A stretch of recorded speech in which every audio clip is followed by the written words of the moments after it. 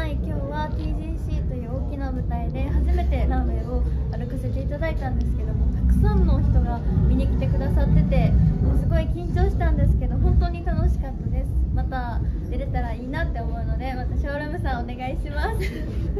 はい、えーもうね大きいステージすぎてあの本当にちゃんと歩けてるか分かんなかったんですけどこうやってペアでね歩かせていただけてすごく可愛く歩かせていただいたので次は